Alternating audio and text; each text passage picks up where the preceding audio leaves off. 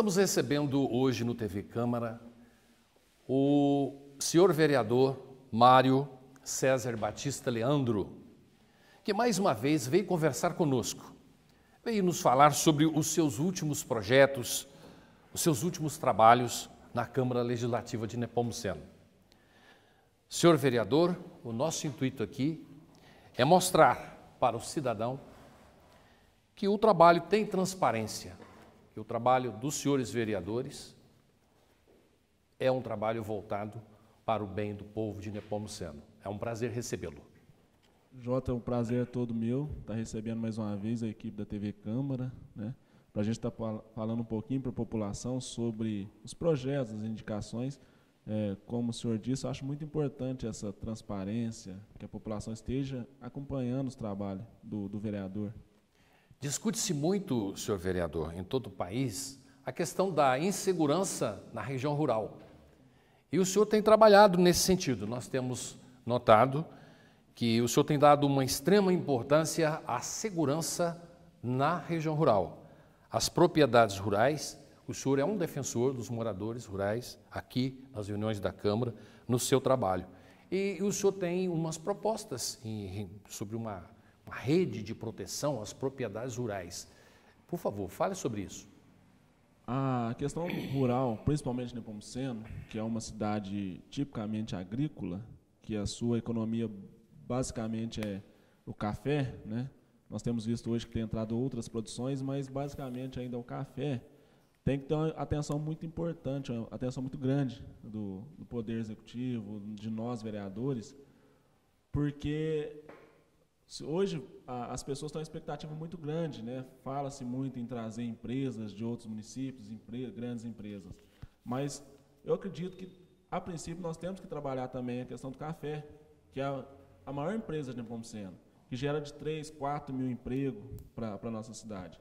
E com isso, o, o, o produtor, ele trabalha, se prepara, investe dinheiro para produzir, e quando vai armazenar ali seus insumos, a sua produção, ele corre um risco muito grande, ele é muito visado por pessoas que estão à margem da lei.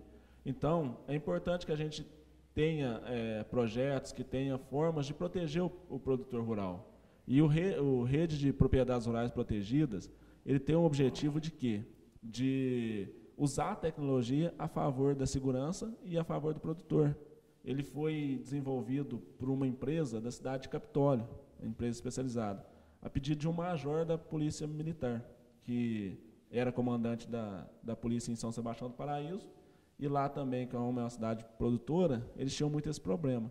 O que, que esse aplicativo faz? Ele mapeia a, as propriedades do município, né? o município pode ter 4, 5 mil propriedades rurais, cada propriedade recebe um código, ele é identificado pelo município e por um número, e esse código ele é cadastrado na, em um dispositivo, seja um tablet ou um celular da Polícia Militar, e ao acessar, acessar ali aquela propriedade, a Polícia Militar tem todas as informações, é, a localização exata através de GPS, e é um GPS que não precisa de internet, o nome do produtor, o telefone do, do, da pessoa ali, da, da, propriedade, e ele vai mais além.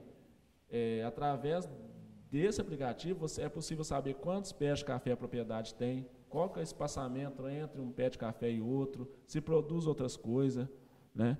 E o que eu acho mais interessante desse programa é a questão de localização. Por exemplo, hoje, se acontece uma ocorrência numa propriedade aqui do município, que é muito grande, né? nós temos aí milhares de, de quilômetros de, de estrada rural.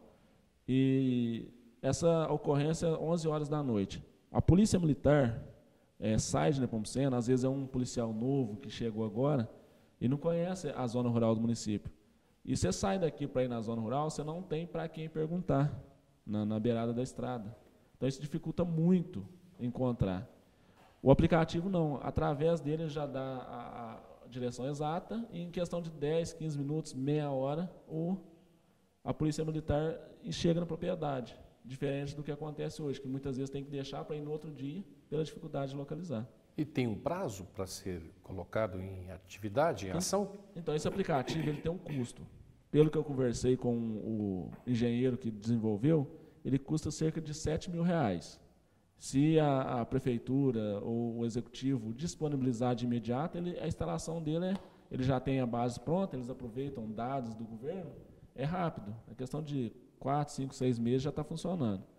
E, mas depende da, da aquisição do aplicativo né, e, e, do cadastramento. Seria a aquisição de uma central? Não, seria o aplicativo mesmo. O aplicativo. Ele é instalado. Ele, ele é assim, é instalado. Somente a polícia tem acesso a ele, essas informações. Os dados já vêm prontos, como eu disse, né? Sim. né? E se os proprietários, se os produtores, o sindicato do, resolverem se unir, eu acho muito importante a gente estar tá tentando trazer. Existe uma expectativa grande, nós estamos tentando viabilizar, é que ele venha através do Concafé, que é o consórcio do café. Se o governo está disponibilizar um recurso grande, eles vão adquirir esse aplicativo para todos os municípios. Mas aí a gente já não sabe quando, né? Muito bem. O senhor tem levantado sempre uma questão aqui nas reuniões de, desta casa, as reuniões ordinárias, é sobre uma questão de uma ouvidoria municipal. O porquê? Sim, a ouvidoria é muito importante em todo segmento, né? Hoje nós temos, se você for observar, a maioria dos hospitais grandes, as prefeituras, as câmaras, né, a própria justiça tem uma ouvidoria. E o município de Nepomuceno ainda não tem essa ouvidoria. O, o cidadão, com, a, com, a, Constituição de 88, ela é a Constituição participativa. Então, o cidadão precisa participar da administração pública. E a ouvidoria, ela vem para auxiliar a administração nisso. Porque hoje você chega numa, numa secretaria, vamos usar um exemplo, de saúde, você não tem como saber como que está seu exame. Se ele, é, se ele foi marcado, quando ele vai sair, qual é o andamento dele. Né? E, às vezes, ocorre alguma situação que não é... que um direito de cidadão deixa de ser garantido, ele não tem para quem recorrer. E uma ouvidoria resolveria? A ouvidoria, o cidadão, ele... Auxiliaria, né? Auxiliaria tanto o cidadão quanto a administração pública. Sim. O cidadão vai ali, ele protocola uma, uma reclamação, um elogio, uma sugestão, né?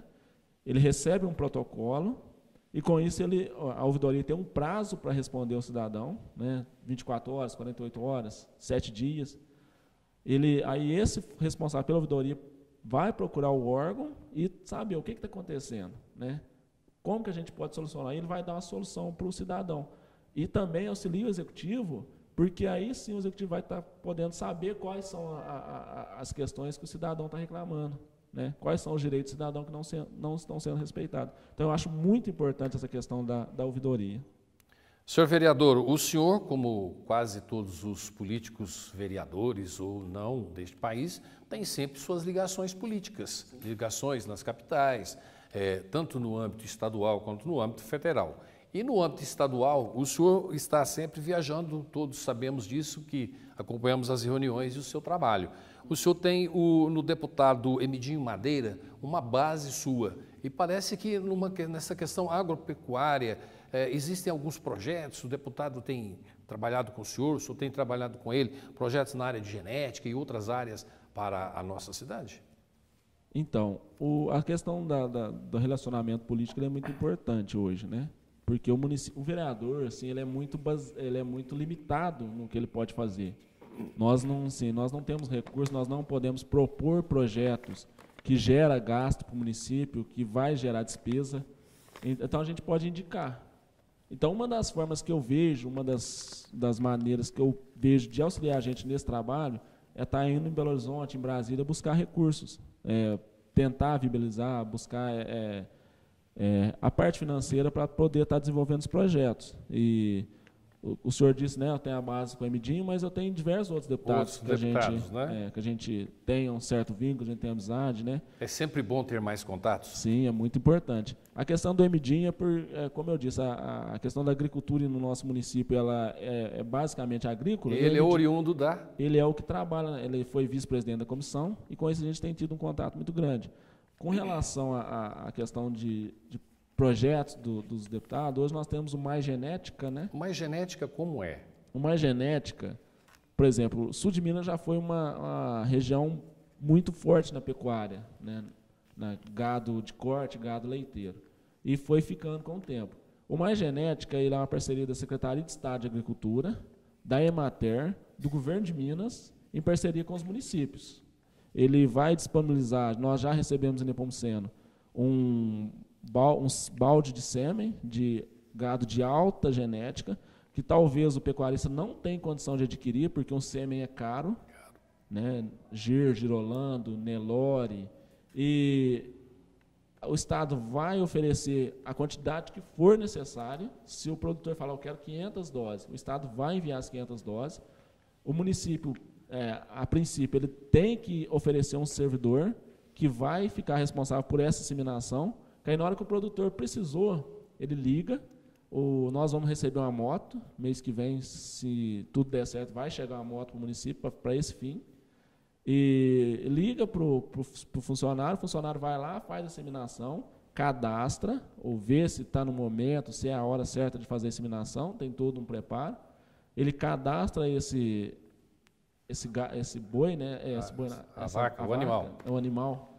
Ele cadastra o animal e com isso ele vai estar acompanhando de, durante todo o ciclo da, da, da gestação do, do, Sim do é animal. Bem moderno, né? Bem, é moderníssimo. Bem moderno. Até na semana passada nasceu a primeira, a primeira vaquinha, vamos dizer é assim. o primeiro animal. O primeiro animalzinho. Vindo de, desse e, trabalho, né? É, eu fiquei muito, assim, fiquei até a gente emocionado de ver a, a, qualidade do animal. E com isso a gente vai estar fortalecendo também a pecuária no nosso município. No nosso município, né?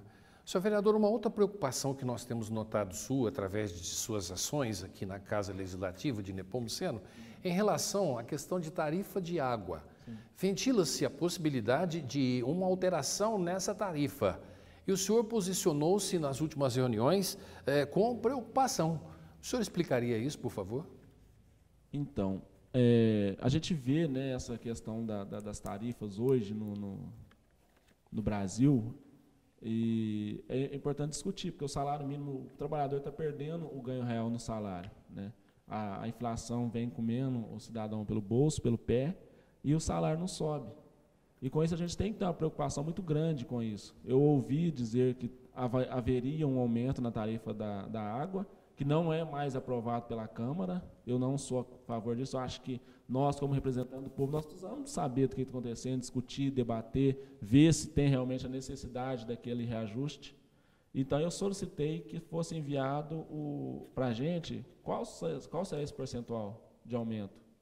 Qual que é a necessidade, se realmente precisa desse reajuste ou não, para que a gente possa discutir aqui também. Por mais que não vai ter influência, que já foi dado esse reajuste, mas nós precisamos saber, a população precisa saber.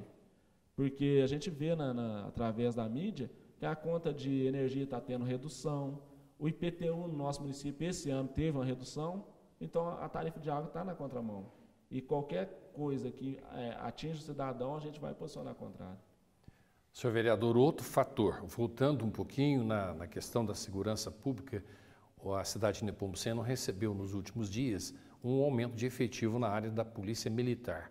Mais policiais chegaram. Seu análise. Essa questão eu acho muito importante. Né? Nós estivemos em Belo Horizonte com o chefe de gabinete da Secretaria de Governo, Edinho Moura. Protocolamos ali um ofício, eu, o vereador Edmilson e o vereador Francis, assim como a, a prefeita Isa Menezes também, através do deputado Fábio Xerém, correu atrás, buscou né, Antônio Carlos Arantes, e nós recebemos, um, nos últimos dias, seis policiais. Então, acho muito importante, vai ajudar bastante. E há possibilidade de vir mais? Eu acredito que no momento não. Não, né? No momento não, porque foi feito uma. Formou-se né, uma, uma turma de, de, policiais agora. E até deixar os parabéns para o Carlos Henrique, que é um policial de Nepomuceno, que foi para a Elicínia. E foi feita essa turma e essa foi feita uma divisão. Então, acredito que para chegar novos policiais, só quando tiver uma nova turma da, da polícia. E eu acho que só a vinda de policiais não, não resolve. Né? Tem que investir no esporte, tem que investir na educação, porque você pode ter 100 policiais aqui e a criminalidade vai continuar crescendo e não vai resolver. Então, eu acho que só a vinda de policiais não é o suficiente. Tem que investir na polícia, equipar, dar condições de trabalho, mas isso aí vem do Estado. Né? Mas acho importante. Um outro assunto que o senhor tem levantado sempre aí, em questão, nós falamos de água, falamos também da CEMIG, né, da iluminação pública. Sim. O senhor mostrou preocupação nesse sentido. Alguns bairros estão em falta, outros não. o centro houve mudança de lâmpadas. Tem alguma coisa nesse sentido que só o senhor para explicar para nós? Ah, sim. Eu fiz uma reunião com os moradores do bairro Novo Horizonte, que é um projeto que eu tenho, cada mês está num bairro. E uma coisa que eu percebi no bairro Novo Horizonte é a questão que lá é muito escuro à noite. E engraçado que quase, todas as lâmpadas estão funcionando. O que eu percebi lá são dois postes apenas que não tem a lâmpada. Tem o poste, mas não tem a lâmpada. E todas as, as luzes estão acesas. Eu tentei entrar em contato com a empresa e eles disseram: oh, a gente não pode. A gente só dá manutenção se a lâmpada não estiver funcionando. E com isso eu fiz a indicação ao executivo que faça a substituição das lâmpadas do bairro Novo Horizonte por lâmpadas de LED. As lâmpadas de LED são mais eficientes, elas, são, elas clareiam mais, com uma, um gasto muito menor de energia elétrica. Porque nós sabemos que o município é responsável pela tarifa de, de iluminação pública, e se for é, feito uma troca pelas lâmpadas de LED, é um recurso que vai sobrar no município para que possa investir em outras áreas. Então, eu fiz a indicação para que sejam substituídas todas as lâmpadas do bairro Novo Horizonte, né? apesar de estarem funcionando, mas que sejam instaladas novas lâmpadas, não só no Novo Horizonte. Temos várias partes do, do, do município que estão com esse problema. Né? Inclusive, lá a gente está tentando a solução para o ginásio poliesportivo no entorno ali, que não tem iluminação, é muito escuro. Né? E cidade escura favorece a criminalidade. Como eu disse, nós, é, nós temos que estar tá, não só a vinda de policiais, mas também outros fatores outros que influenciam. Fatores, né? Senhor vereador, foi uma alegria falar com o senhor. A TV Câmara sente-se muito bem em ouvi-lo. As suas explicações são importantes para todos nós e nós o deixamos à vontade para as suas considerações finais. Então, muito obrigado, Jota, muito obrigado a toda a equipe da TV Câmara. É, queria agradecer a todos pela atenção, a todos que nos acompanharam, dizer que estou à disposição para qualquer dúvida, sugestão, indicação. E o nosso mandato ele é popular, participativo, então o mandato, eu sempre falo, o mandato não é meu, o mandato é do povo. Então eu acredito que a população é muito importante estar junto. Então deixo aqui meu abraço a todos e desejo a todos uma ótima semana e um forte abraço. Finalizamos essa entrevista convidando a todos para ficarem ligados com a TV Câmara. As reuniões acontecem nas segundas-feiras e são transmitidas através do nosso sistema. Todos que têm as suas redes sociais, o Facebook e outros meios podem acompanhar as reuniões da TV Câmara. A TV Câmara agradece muito a sua audiência e se coloca sempre à sua disposição.